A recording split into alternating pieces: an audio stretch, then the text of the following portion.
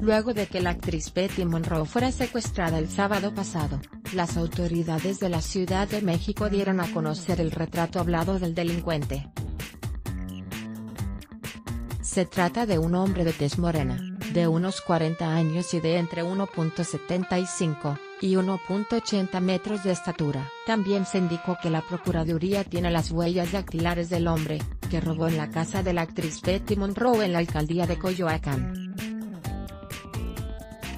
Ad Choices Advertising in Real Invented by Teats el día del robo, la actriz también sufrió un secuestro express, y fue abandonada en la colonia Ciudad de los Deportes en la alcaldía Benito Juárez.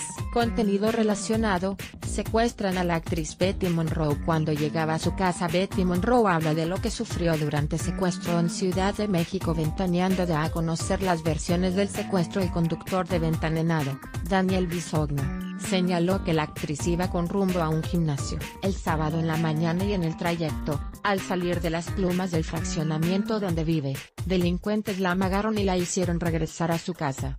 Pedro Sola señaló que al parecer la madre de la actriz iba en la camioneta donde ocurrió el secuestro. Presuntamente la mamá de la actriz, y uno de los empleados fueron maniatados en la casa. Evidentemente amenazada por una pistola, dijo Mónica Castañeda. Sigue leyendo, aparece Fernando Colunga, con Andrea Legarreta, y usuarios en lo que se infiltran lista con estrellas consentidas Emilio Azcárraga Jim Video. Atacan a balazos a El Panda en Chapalita Video.